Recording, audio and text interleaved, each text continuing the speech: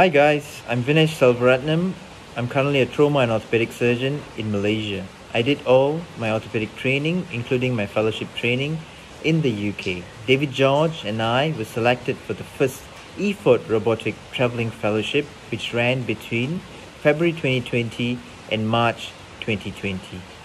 We had the opportunity to visit three centers across Europe and met some fantastic surgeons and their team who had a of knowledge about robotic assisted surgery. The first center that we visited was in Hanover, Germany. Here we were under the supervision of Professor Windhagen and Dr. Ettinger. Here we not only learned robotic assisted surgery, but we were also involved with complex revision arthroplasty surgery. After Germany, we visited Nimes University Hospital under Professor Pascal. Here, we had hands-on experience on Mako assisted surgery for total hip replacement, total knee replacement, and unicondylar knee replacement.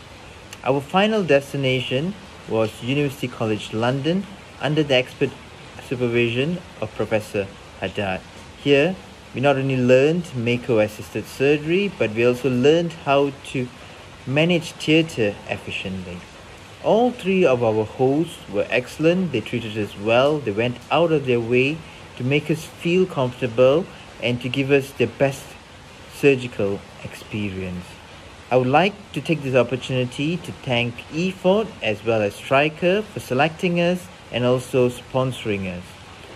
I would like to tell other eligible applicants to please apply for this fellowship as you will have a great time and a great experience with visiting these centers. Please contact us if you need any further information.